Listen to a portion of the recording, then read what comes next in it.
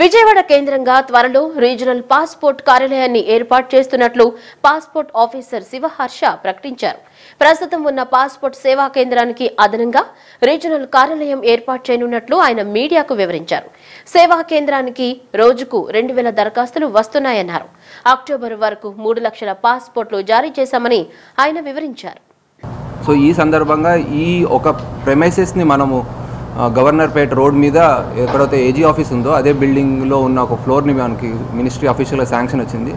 So hopefully మనకి early two thousand twenty four January February first క్వార్టర్లో మనం ఈ ప్రెమిసెస్ని స్టార్ట్ చేయడం అనేది ఒక good న్యూస్గా I wanted to share with each one of you so as I said earlier we have almost cater to the entire region of fifteen districts of Andhra Pradesh RPO Visakhapatnam Kosta Andhra పైన చేస్తుంటుంది. విజయవాడ మన రాయలసీమ రీజన్ను Krishna uh, ఈ entire region fifteen డిస్ట్రిక్ట్స్లో మనకి రెండు passport సేవా కేంద్రాలు ఉన్నాయి. మీకు అందరికీ తెలుసు అంటే పాస్పోర్ట్ సేవా కేంద్ర విజయవాడ ఈ synonymous with passport office so చాలామంది పాస్పోర్ట్ సేవా కేంద్రాన్ని regional passport officer. So that is a credit to our team of passport uh, Seva Kendra Vijayawada who have ensured the operations very nicely despite not having the admin functions here passport Seva Kendra Tirupati కూడా almost we are doing five hundred applicants per day and entire ఆ రీజియన్కి క్యాటర్ చేస్తుంది. అదే కాక మన postal services department వాళ్ళతో కూడా ఉన్న అనుబంధంతో మనం పదమూడు పాస్పోర్ట్ సేవా కేంద్ర పోస్ట్ ఆఫీస్ పాస్పోర్ట్ సేవా కేంద్రాలు కూడా డిఫరెంట్ డిస్ట్రిక్ట్స్లోను డిఫరెంట్ ప్లేసెస్లో నడుపుతున్నాం. సో ఇదే ఇవన్నీ కలుపుకుంటే పదిహేను లొకేషన్స్లో ప్లస్ మన రీజనల్ పాస్పోర్ట్ ఆఫీస్ విజయవాడతో పాటు రాబోయే సంవత్సరం రెండు వేల ఇరవై నాలుగులో we'll have a full fledged citizen friendly passport service delivery ఏదైతే మేము పాస్పోర్ట్ సేవ అని చెప్తామో. లాస్ట్కి మనకి సంబంధించిన ఏపీ పోలీస్ వాళ్ళకి పోస్టల్ డిపార్ట్మెంట్కి మరియు మా service provider Tata consultancy service వాళ్ళకి for their coordination and support మా ఎంటైర్ టీమ్ తరపు నుంచి we would like to thank you దేశాభివృద్ధిలో యువతను భాగస్వామ్యం చేసేందుకు కేంద్ర ప్రభుత్వం రోజ్గార్ మేళా కార్యక్రమం చేపట్టిందని రైల్వే డీఆర్ఎం నరేంద్రయ్య పాటిల్ తెలిపారు. ఏడాదిలో పది లక్షల ఉద్యోగాలు కల్పించడమే లక్ష్యంగా కేంద్ర ప్రభుత్వం పనిచేస్తుందని చెప్పారు. ప్రభుత్వం కల్పిస్తున్న అన్ని అవకాశాలను యువత సద్వినియోగం చేసుకోవాలని కోరారు. ఏడాదిలో పది లక్షల ఉద్యోగాలు కల్పించడమే లక్ష్యంగా కేంద్ర ప్రభుత్వం అమలు చేస్తున్న రోజ్గార్ మేళా కార్యక్రమంలో భాగంగా ప్రధానమంత్రి నరేంద్ర మోదీ దేశవ్యాప్తంగా యాభై ఒక్క వేల మందికి నియామక పత్రాలను వీడియో కాన్ఫరెన్స్ ద్వారా అందించే కార్యక్రమం నిర్వహించారు. విజయవాడ రైల్వే ఆడిటోరియంలో జరిగిన పదవ రోజ్గార్ మేళా కార్యక్రమంలో railway DRM Narendra A Patil పాల్గొన్నారు.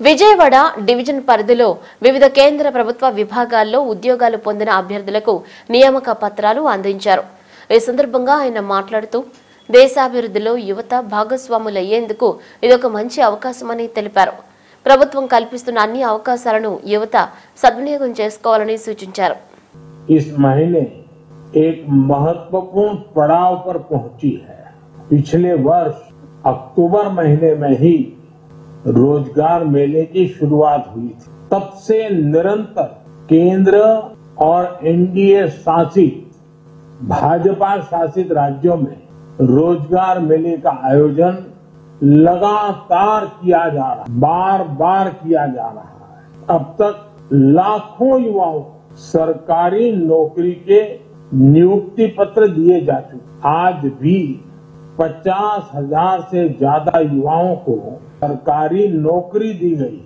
दिवाली में अभी कुछ ही समय बाकी है, लेकिन नियुक्ति पत्र पाने वाले पचास हज़ार युवाओं के परिवार के लिए ये मौका दिवाली से जरा भी कम नहीं है। Would like to tell you that it is one of the most satisfying thing which we do every day when we work when we work for our nation there is a feeling of pride and uh, if we do our work with 100% dedication, every day you come out as a winner. So God has given you a great opportunity to serve this great country and I'll, I'll, uh, I am hopeful that all of you will do very well. This Rozgar Mela today is being held at around 37 locations across the country and almost uh, around 50,000, 51,000 appointment letters uh, are being issued uh, during this Rozgar Mela conducted by our Honorable Prime Minister. కుల గణనతో అన్ని వర్గాలకు లబ్ధి చేకూరుతుందని PCC అధ్యక్షులు గిడుగు రుద్రరాజు స్పష్టం చేశారు ఆయన మీడియాతో మాట్లాడుతూ కుల గణనతో ఓబీసీలకు లభించే ప్రయోజనాలను ప్రజలోకి తీసుకెళ్ళేందుకు ఈ నెల ఇరవై తొమ్మిదిన గుంటూరులో ఓబీసీలతో భారీ సమావేశం నిర్వహిస్తున్నట్లు వెల్లడించారు నవంబర్ తొమ్మిది పది పదకొండు తేదీల్లో శ్రీకాకుళం విజయనగరం విశాఖపట్నాలలో ఓబీసీ సమావేశాలను నిర్వహిస్తున్నట్లు ఆయన వివరించారు. అక్టోబర్ ముప్పైన ఆంధ్రరత్న భవన్లో కాంగ్రెస్ కమిటీ నూతన కార్యవర్గం భేటీ అవుతుందని రుద్రరాజు పేర్కొన్నారు. ఇటీవల కాంగ్రెస్ వర్కింగ్ కమిటీ తీసుకున్నటువంటి నిర్ణయం ఓబీసీలకు సంబంధించి క్యాస్ట్ సెన్సస్ జరగాలనేటువంటి ఒక నిర్ణయాన్ని తీసుకోవడం జరిగింది.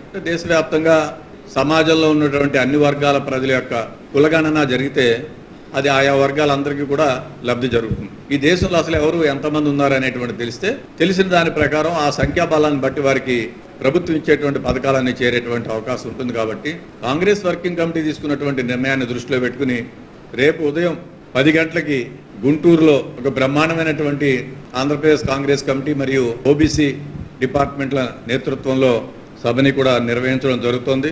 దానికి అఖిల భారత Congress committee OBC department chairman మాజీ మంత్రివర్యులు అదేవిధంగా తొమ్మిది పది పదకొండు నవంబర్ తొమ్మిది పది పదకొండు తేదీల్లో శ్రీకాకుళం విజయనగరం విశాఖపట్నం కూడా ఈ ఓబీసీలకు సంబంధించినటువంటి సిడబ్ల్యూసీలు తీసుకున్నటువంటి నిర్ణయాన్ని హర్షిస్తూ శ్రీకాకుళం విజయనగరం విశాఖపట్నంలో సమావేశాలు నిర్వహించడం జరుగుతుంది. దానికి పెద్దలు రఘువీరారెడ్డి గారు కె రాజు గారు పళ్ళం రాజు గారు ముగ్గురు కూడా ఆంధ్రప్రదేశ్ నుంచి ఉన్నటువంటి సిడబ్ల్యూసి సభ్యులందరూ కూడా హాజరవుతారు.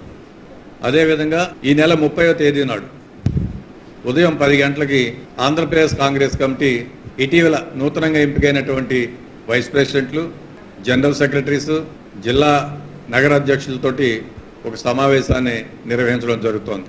సో దాంట్లో పార్టీ విధానపరంగా తీసుకోవాల్సినటువంటి పలు అంశాల మీద కీలకమైనటువంటి అంశాల మీద చర్చించడం జరుగుతుంది. ప్రధానంగా ఏవైతే రిజల్యూషన్స్ చేయాలనేటుకుంటారో ఆ రిజల్యూషన్స్ అన్ని కూడా దాంట్లో పెట్టడం జరుగుతుంది. భవిష్యత్ కార్యాచరణ గురించి చర్చించడం జరుగుతుంది. త్వరలో జరగబోయేటువంటి శాసనసభ పార్లమెంట్ ఎన్నికల గురించి చర్చించడం జరుగుతుంది.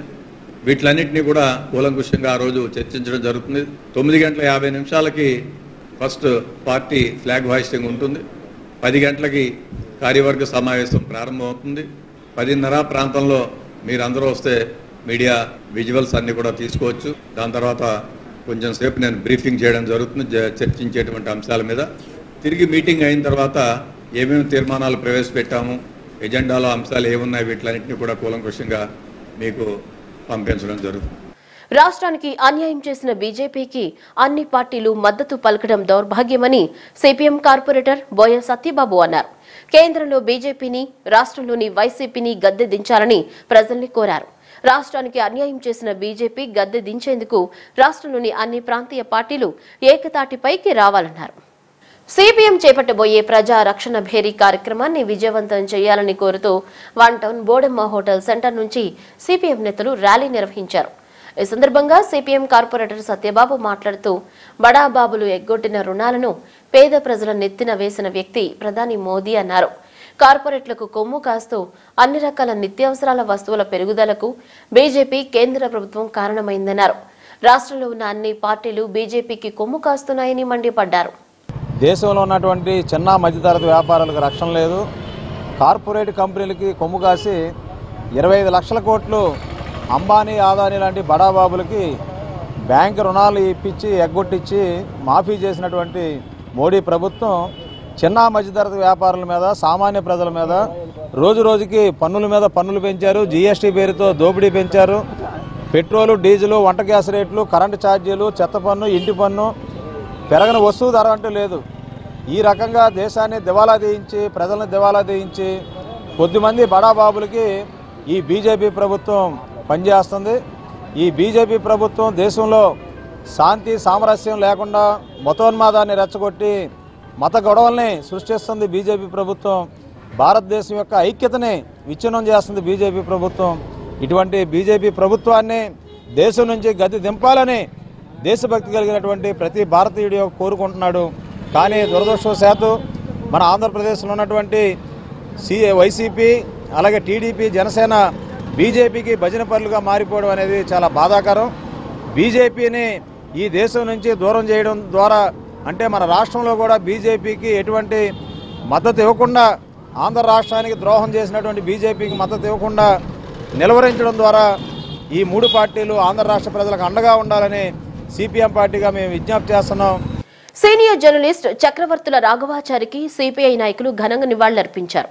రాఘవాచారి నాలుగవ వర్ధంతి సందర్భంగా సిపిఐ రాష్ట్ర కార్యదర్శి కె. రామకృష్ణ నగర పార్టీ కార్యదర్శి జి. కోటేశ్వరరావు రాఘవాచారి చిత్రపటానికి పూలమాలలు వేసి శ్రద్ధాంజలి ఘటించారు. సిపిఐ ముప్పై ఆరవ డివిజన్ శాఖ ఆధ్వర్యంలో చక్రవర్తుల రాఘవాచారి నాలుగవ వర్ధంతి నక్క వీరభద్రరావు అధ్యక్షతన సభ జరిగింది. రాఘవాచారి చిత్రపటానికి పూలమాల వేసి శ్రద్ధాంజలి ఘటించిన పార్టీ నేతలు ఆయన సేవలను కొనియాడారు. నిబద్ధత కలిగిన జర్నలిస్టుగా రాఘవాచారి అందించిన సేవలు నిరుపమానమని ప్రస్తుతించారు విజయవాడ నగరంలో ఏ సాహితీ కార్యక్రమం జరిగినా అదేవిధంగా ఏ సాంస్కృతిక కార్యక్రమం జరిగినా ఎవరున్నా లేకపోయినా ఆయన స్పీకర్గా ఉన్నా లేకపోయినా ఆయన మాత్రం టెన్షన్గా అక్కడ అటెండ్ అయ్యేవారు. కాబట్టి ఏమంటే విజయవాడ నగరంలో అందరికి కూడా ఆయన చిరపరిచితులు ఒక గొప్ప మేధావి. అలాంటి వ్యక్తి మరణించిన తర్వాత ఆయన గురించి వారి వంశం అంటే వారి వంశం జర్నలిస్టులు ఉండేట్లు ఆయన జర్నలిస్టులు కాబట్టి జర్నలిస్టులు రాష్ట్ర వ్యాప్తంగా ఒక రకంగా చెప్పాలంటే దేశవ్యాప్తంగా ఎంతోమంది ఆయనకు పరిచయము. వారందరూ కూడా ఎంతో గౌరవించేవారు. ఆయన జర్నలిస్ట్ యూనియన్ లీడర్గా కూడా పనిచేశాడు. మరి ఇక్కడ మన వీరభద్రరావు గారి ఆధ్వర్యంలో ఈ రకంగా ఆయన వర్ధంతి కార్యక్రమం జరుపుకుంటున్నారంటే నిజంగా చాలా ఘనంగా దాని గురించి మనం గొప్పగా చెప్పుకోవాల్సిన అవసరం ఉంది. అలాంటి గొప్ప వ్యక్తి ఈరోజు నాలుగో వర్ధం జరుపుకున్న సందర్భంలో మరి వారికి ఘనంగా నివాళులు అర్పిస్తూ మరి ఈ కార్యక్రమంలో పాల్గొంటున్న మన కామ్రేడ్స్ అందరికి కూడా అభినందనలు తెలియజేస్తా ఉన్నాను. ఈ సందర్భంలో అందరికి కూడా భోజనాలు. ఏమంటారు అన్నదాన కార్యక్రమం కూడా ఏర్పాటు చేశారు. అది కూడా చాలా సంతోషము. ఇక ఇక్కడ రాష్ట్ర కౌన్సిల్ సమావేశాలు జరుగుతూ ఉన్నాయంటే కూడా ఇక్కడ ఒక ముఖ్యమైన కార్యక్రమము. రాఘవాచారి గారి పేరు మీదుగా రేపు ఒక పెద్ద కార్యక్రమం ఒకటి ఉంది. అక్కడ ఎస్ఆర్ఆర్ కాలేజీ? సిద్ధార్థ కాలేజ్ ఆడిటోరియంలో రేపు ఉదయం పది గంటలకు ఉంది. కానీ నిజంగా ఆయన చెడిపోయిన దినం అయితే ఈ రోజే.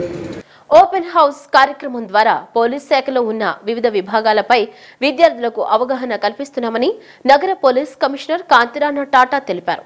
మూడు రోజుల పాటు జరిగే ఈ కార్యక్రమంలో వివిధ విద్యాసంస్థలకు చెందిన సుమారు వెయ్యి మంది విద్యార్థులు పాల్గొంటున్నారని వివరించారు. పోలీస్ అమరవీరుల వారోత్సవాల సందర్భంగా బందరోడ్డులోని ఏఆర్ గ్రౌండ్స్లో ఓపెన్ హౌస్ కార్యక్రమం నిర్వహించారు. ఈ ప్రదర్శనను సిపి కాంతిరాణ టాటా ప్రారంభించి వివిధ రకాల ఆయుధాలను పరిశీలించారు. ఈ సందర్భంగా సిపి మాట్లాడుతూ పోలీస్ శాఖలో వినియోగించే వివిధ రకాల ఆయుధాలు ఇతర పరికరాలపై పిల్లలకు అవగాహన కల్పించేందుకు ఓపెన్ హౌస్ కార్యక్రమం నిర్వహిస్తున్నామని పేర్కొన్నారు. నగరంలోని పలు పాఠశాలలు కళాశాలల నుంచి వచ్చే విద్యార్థుల కోసం విస్తృత ఏర్పాట్లు చేశామన్నారు. ముఖ్యంగా octopus SPRF NDRF answer communication forensic అగ్నిమాపక వాహనాల వినియోగించే విధానంపై విద్యార్థులకు వివరిస్తున్నామని చెప్పారు. మూడు రోజుల పాటు జరిగే ఓపెన్ హౌస్ కార్యక్రమానికి విద్యార్థుల నుంచి మంచి స్పందన లభించిందని ఆయన వివరించారు. మన విజయవాడ సిటీ పోలీస్ కమిషనరేట్లో ఈ పోలీస్ కమమరేషన్ వీక్ సందర్భంగా ఈరోజు ఓపెన్ హౌస్ ప్రోగ్రాము కండక్ట్ చేయడం జరుగుతుంది. ముఖ్యంగా ఓపెన్ హౌస్ అంటే పోలీస్ డిపార్ట్మెంట్లో ఉన్న డిఫరెంట్ వింగ్స్ వాటి తాలూకా ఫంక్షనింగ్ అదంతా వాళ్ళ ప్లస్ వాళ్ళ ఎక్విప్మెంట్ అంతా కూడా షోకేస్ చేయడం జరుగుతుంది. This open for public open house అంటే. సో దీనిలో భాగంగా మన విజయవాడ నగరంలో స్కూల్స్ అండ్ కాలేజెస్ నుంచి చిల్డ్రన్ అండ్ స్టూడెంట్స్ని మనం ఈరోజు ఇన్వైట్ చేయడం జరిగింది. దాదాపు ఒక వెయ్యి మందికి పైగా స్టూడెంట్స్ వచ్చారు. ఇక్కడ చాలా చక్కటి ఏర్పాట్లు కూడా చేయడం జరిగింది. ముఖ్యంగా ఆక్టోపస్ కానివ్వండి తర్వాత ఎస్డిఆర్ఎఫ్ ఎన్డీఆర్ఎఫ్ ఆర్మ్డ్ రిజర్వ్ తర్వాత కమ్యూనికేషన్ వింగ్ తర్వాత ఫోరెన్సిక్ వింగ్ తర్వాత ఫైర్ ఇంజిన్ తర్వాత ఫాల్కన్ వెహికల్ ఇలా రకరకాల ప్లస్ డాగ్ షో ఇలాంటి రకరకాల మంచి ఈవెంట్స్ కూడా ఇక్కడ పెట్టడం జరిగింది. పిల్లల నుంచి రెస్పాన్స్ కూడా చాలా బాగుంది. ఆ, తర్వాత దీంతో పాటుగా బ్లడ్ డొనేషన్ క్యాంప్ కూడా ఒకటి కండక్ట్ చేయడం జరుగుతుంది రేపు పొద్దున్న సో ఎవ్రీ ఇయర్ మనం ఆనవాయితీ ప్రకారం ఈ ప్రోగ్రామ్ కండక్ట్ చేస్తాము. ప్రతి సంవత్సరం లాగే ఈసారి కూడా మంచి ఏర్పాట్లు చేయడం జరిగింది. మన పబ్లిక్ నుంచి కానీ స్టూడెంట్స్ నుంచి కానీ మంచి రెస్పాన్స్ కూడా రావడం జరిగింది. ఇది? త్రీ డేస్ ఉంటుందండి. ఇది- ఈ రోజు రేపు వెళ్ళండు.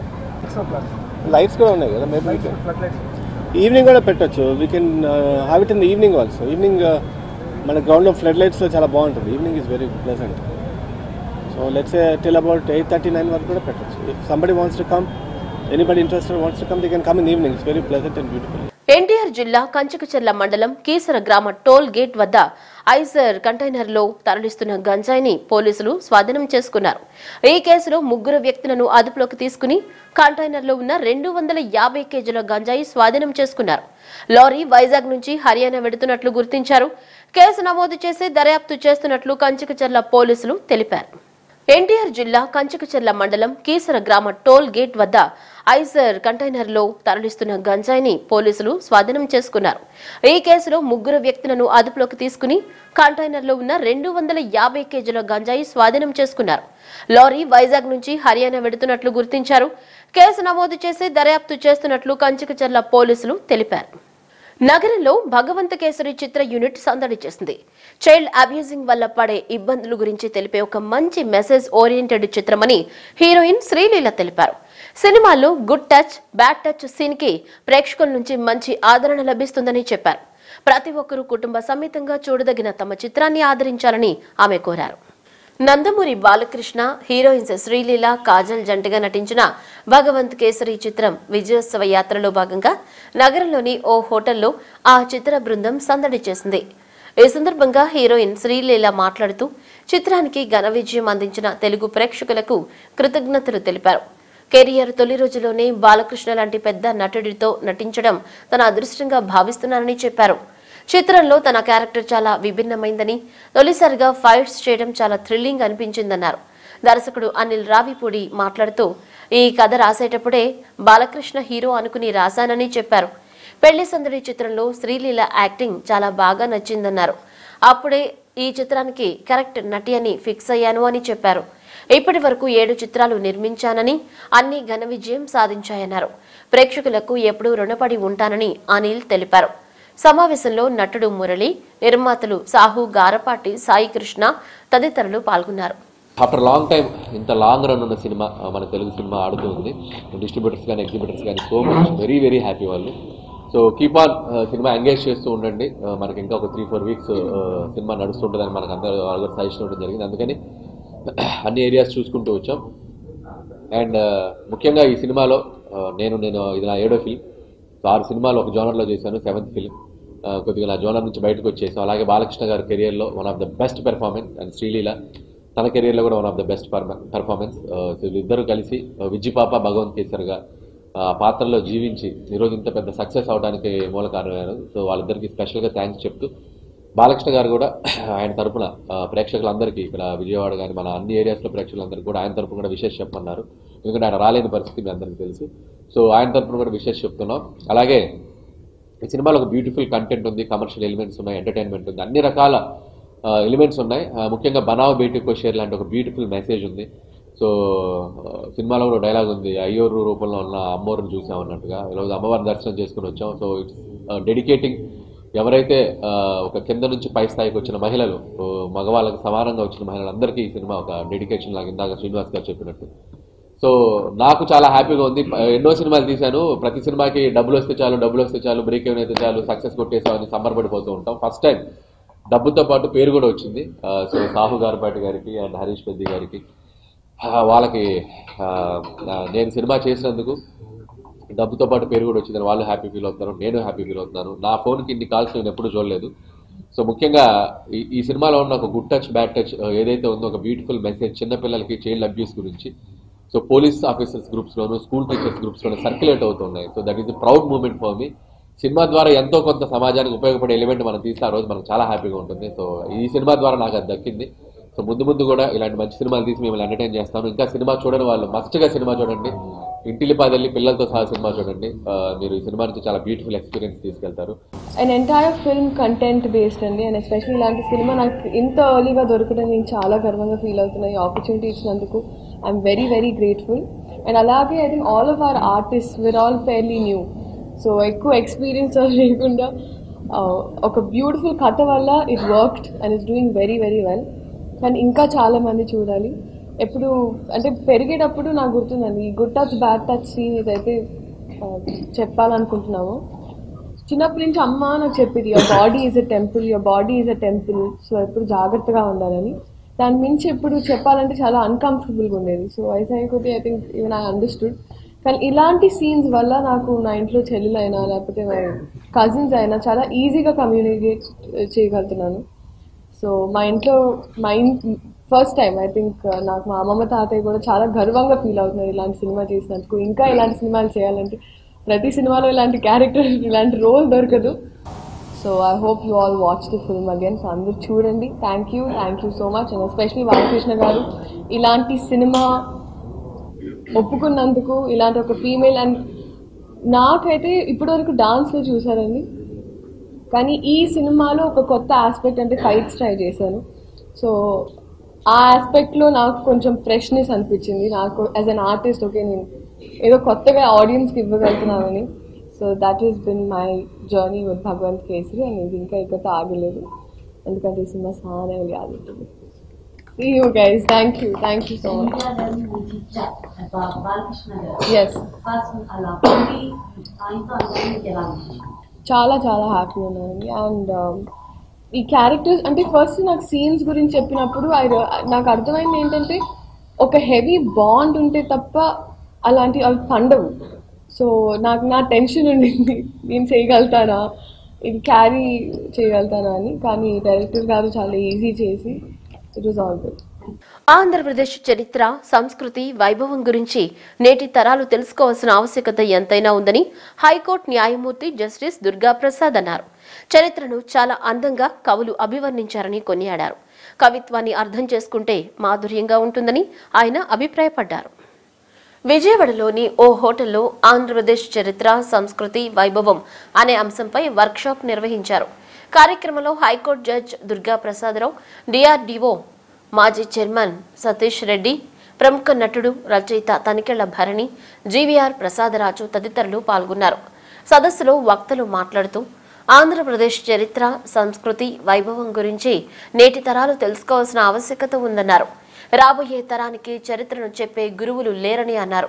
సమాజంలో ఒకరికొకరి సంబంధం లేకుండా బతుకుతున్నామని కవులకు కనకాభిషేకం చేసి గౌరవించిన సంస్కృతి మనదని గుర్తు చేశారు. రామాయణ కల్పవృక్షం రమ్యమైన పదజాలంతో రచించిన విశ్వనాథ సత్యనారాయణ పుట్టిన గడ్డ విజయవాడని ఇక్కడి నుంచి ఎందరో మేధావులు కవులు రచయితలు మంచి పేరు ప్రఖ్యాతులు గడించారని అన్నారు. మన చరిత్ర సంస్కృతి వైభవం ప్రపంచ నలుమూలలా విస్తరించిందని వక్తలు కొనియాడారు. తెలుగు వారికి అపూర్వమైనటువంటి చారిత్రక సాంస్కృతిక వారసత్వ సంపద ఉన్నది. దాన్ని మనం అందరం ఎరిగినదే. ఏ రంగాన్ని మనం తీసుకున్నా కూడా ఆ రంగంలో నిష్ణాతులైనటువంటి వాళ్ళు అత్యున్నతమైనటువంటి స్థానాన్ని అధివసించిన వాళ్ళు ఎందరో మనకి కనిపిస్తారు. సంగీతం తీసుకుంటే త్యాగితో మొదలుపెడితే రామదాసు అన్నమయ్య బాలమురళి తెలుగువారు అంటూ ఉన్నతమైన స్థానాన్ని అధివసించిన వారు మనకు కనిపిస్తారు. ఇక రాజకీయ రంగం నేను చెప్పక్కర్లేదు. ప్రధానమంత్రిగా చేసిన వారు రాష్ట్రపతిగా చేసిన వారు నా రంగానికి సంబంధించినటువంటి న్యాయశాఖలో అత్యున్నతమైన శిఖరాలుగా చీఫ్ జస్టిస్ ఆఫ్ ఇండియా పదవిని అలంకరించిన తెలుగువారు ఉన్నారు. ఇవన్నీ చెప్తూ చరిత్ర చరిత్ర చర్యలు చేయడం నాకు నా ఉద్దేశం కాదు. కానీ ఒక తుల్యత అంటే ఒక కంపారిజన్ కోసం మనం నిలబడినట్లయితే తెలుగు వాళ్ళకు ఒక ఘనకీర్తి ఉంది అని గర్వంగా చెప్పుకోవడానికి మనకంటూ ఒక ఖ్యాతి. ఇది మనం రక్షించుకోవాలి. రక్షించుకోవాల్సిన అవసరం మనకి పడింది. అందుకోసం మనం ఇక్కడ సమావేశం అయ్యాం. అయితే ఈ సందర్భంలో నాదొక వినపం మనమందరం ఇక్కడ సమకట్టడం ఒక గొప్ప విషయం. దానికి మనం ఎలా సంరక్షించుకోవాలి అని మనం మేధోమదనం చేయడం కూడా చాలా సంతోషకరం. ఏ మంచి పనికైనా ఏ సత్కార్యానికైనా ఒక అవరోధమైనా వస్తుంది లేదా ఒక ప్రశ్నైనా ఇది ఎందుకు? దీని అవసరం ఏంటి? అనేటువంటి ప్రశ్న ఇప్పుడు ఉదయిస్తుంది. ఆ ప్రశ్న కానీ లేదా ఆ అవరోధం కానీ మనని నిర్మాణాత్మకం వైపు లేదా ప్రోగ్రెసివ్గా కన్స్ట్రక్టివ్గా అంటే ముందుకు తీసుకువెళ్ళే విధంగా ఉండేటువంటి విమర్శ అయితే ప్రశ్న అయితే తప్పకుండా మనం వాటిని స్వీకరించాలి. ఆ ప్రశ్నకి అవరోధానికి మనం తార్కికమైనటువంటి జవాబు చెప్పాలి. ఆ ప్రశ్న వేసిన వారికి మన సమాధానం సముచితంగా ఉంది అని అనిపించాలి. అప్పుడు మాత్రమే మనం ఆలోచించే రీతిలో వారు కూడా మన ప్రౌలోకి వచ్చి మన మార్గాన్ని అనుసరిస్తారు. ఇది నా ఉద్దేశం అన్నమాట. ఇక్కడ నేను మిమ్మల్ని నిరుత్సాహపరచడం లేదు కానీ ఒక విషయం చెప్పాలి. ప్రస్తుతం మనం ఉన్నది చంద్రయానం చేసిన వైజ్ఞానిక కానీ ఇక్కడికి వచ్చిన తర్వాత టాపిక్ మాట్లాడేటప్పుడు ఆ మెత్తదనంలోనే ఒక ఒక కాఠిన్యం ఏర్పడింది. అంటే మన చిక్కన చెప్పినట్టు ధర్మరాజు గారి మెత్తని పులి కరిరామరెడ్డి గారు. చాలా గొప్ప సమావేశం అంటే ముందు థాట్ చాలా గొప్పది భవిష్యత్ తరానికి మన చరిత్ర మన వైపు అలా అందజేయాలి న్యాయమూర్తి గారు కూడా మొత్తం సమావేశానికి మక్తాయమానమైన ఒక కిరీటం లాంటి ఒక క్వశ్చన్ మార్క్ పెట్టారు. ఎలా చేస్తున్నాం కన్నా అసలు ఎందుకన్నా ఎందుకు చేస్తున్నాం అని గోపీచంద్ గారు ఒక నవలకు ముందు మాట రాస్తూ అంకితమిస్తూ ఎందుకు? అన్న ప్రశ్న నేర్పినందుకు మా నాన్న పిల్లలు నెక్స్ట్ జనరేషన్ వాళ్ళు మా నాన్న మరి మనం మనం శివుని అభిషేకం చేయాలి చేసేస్తుంటారు మనం అలా ఫాలో అయ్యి. భవిష్యత్ తరం అవర్ ఎందుకు చేయాలి? బొట్టు పెట్టుకో ఎందుకు పెట్టుకోవాలి? అంటారు మనం సైంటిఫిక్ రీజన్ అది కానీ ఇక్కడ ఆజ్ఞా చక్రం ఉంటుందా? ఇక్కడ ఏదో బొట్టు పసుపు కుంకుమ కలిపితే ఆ మిశ్రమం ఇక్కడ కనుక ఉంటే అది ప్రతిసారిగా నడుపుతుంటే మనకి తెలియకుండానే మోటివేషన్ ఆజ్ఞా చక్రం ఇట్లా ప్రతిదని ఎందుకు? ఎందుకు చెవులు పుట్టించుకోవాలి? దీనికి బ్రెయిన్ కనెక్షన్ ఉంది. బ్రెయిన్ కనెక్షన్ ఎలా ఉంది? అంటే తప్పు చేసినప్పుడు మనం మనం చిన్నప్పుడు ఇలా చెవులు పట్టుకుని ఇలా గుండెలు తీసేవాళ్ళం. అంటే ఇలా ఇలా పట్టుకున్నప్పుడు ఏదో బ్రెయిన్ జ్ఞాపకం వస్తుంది. అందుకని తమిళ వాళ్ళు ఎక్కువ వినాయకుడిని ప్రార్థిస్తున్నప్పుడు గుంజీలు తీస్తుంటారు సో ప్రతిదీ సైంటిఫిక్గా మనకి ఉంది. మన సతీష్ రెడ్డి గారు చెప్పినట్టు మన గత వైభవంని కొంచెం శుద్ధిపరిస్తే ఏ ఏదైనా సరే క్రమంగా కొంత పాతపడినప్పుడు ఆ పైన దుమ్ము కొట్టు మనం వదిలేస్తే మళ్ళీ అందులోంచి ఇచ్చారు వస్తాయి. అది నెక్స్ట్ దురదృష్టవశాత్తు ఇలాంటి మీటింగ్ కుర్రాడు ఎవరు కనపడరు అదే ఆశ్చర్యం. అంటే మనం ఇందులో బహుశా కుర్రాడు వేళ మీద లెక్క పెట్టుకోవాడు వాళ్ళే ఉన్నారు. మిగతా అంతా ముఖ్యమైనది ముఖ్యమైన ఉపన్యాసం ఇస్తాం వెళ్ళిపోతాం అది ఎక్కడ చేరుతుందో ఈ టీవీల ద్వారా వెళ్ళినప్పుడు ఎవడు వింటాడు మన మాట అక్కడ టీవీలో?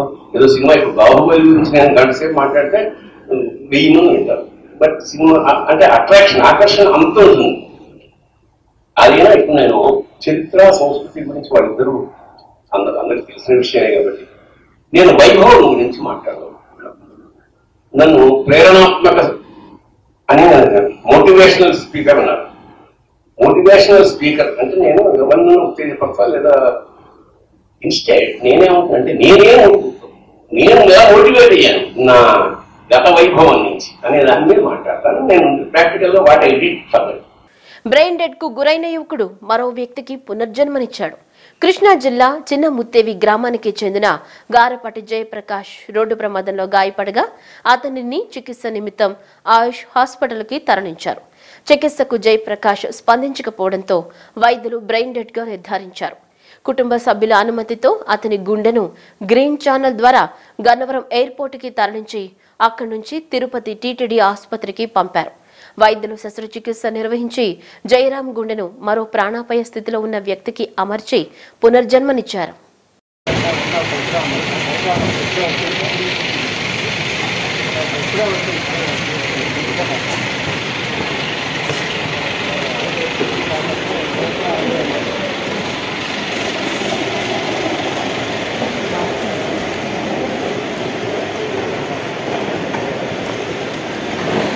బులెటిన్ ముగించే ముందు హెడ్లైన్స్ మరోసారి.